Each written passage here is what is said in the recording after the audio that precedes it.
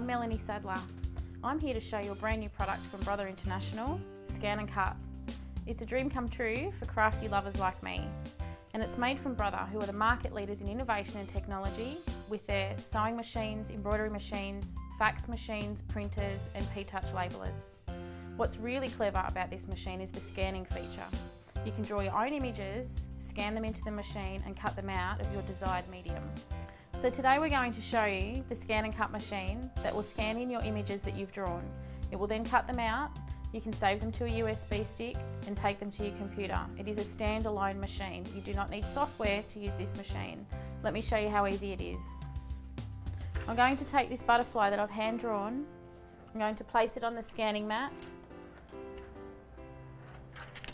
select scan, scan to cut data and press start. I can use this for so many different things. That's the benefit of now having a scanner inside your own cutting machine. Any machine can cut, but having one that cuts and scans makes it so much more personal and accurate too.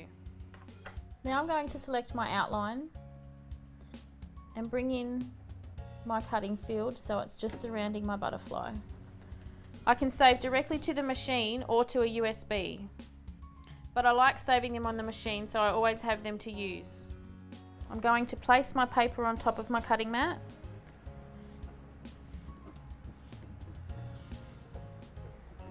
I'm going to load my mat into my machine. Going to go into saved data, into my machine, and I'm going to retrieve my butterfly.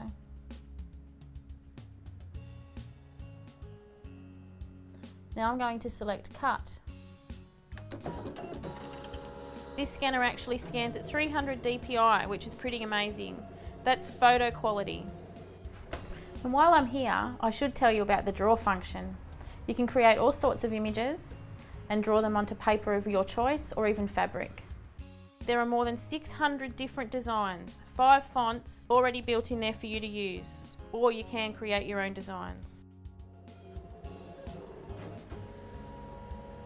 Now that the cutting has finished, I'm going to unload my mat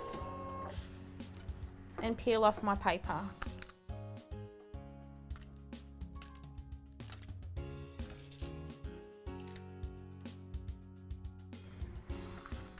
Now see how easy this is?